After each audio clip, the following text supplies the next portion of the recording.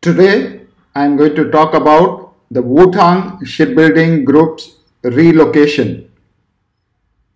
The Wuchang Shipbuilding Group, popularly known as Wuchuan Group, has been recently relocated from Wuchang district in Wuhan to the Xinzhou district's Shuangliu base. The base needed expansion especially for the construction of warships and submarines. As of date, the old shipyard looks empty. The northern pier has been removed and all the ramps and the remaining pier looks empty. There is no activity observed since October 2018.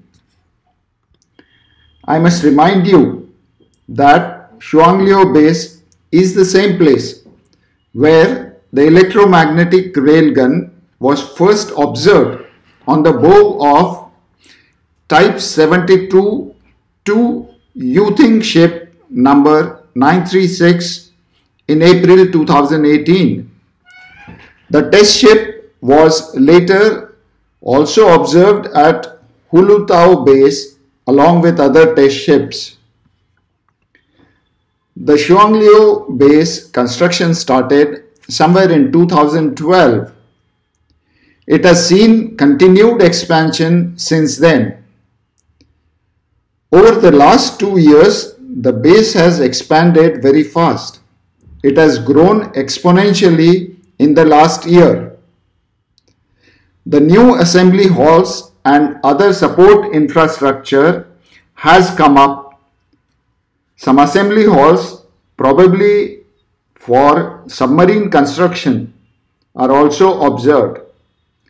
The old images show an offshore patrol vessel, probably for export, fitting out at the new piers.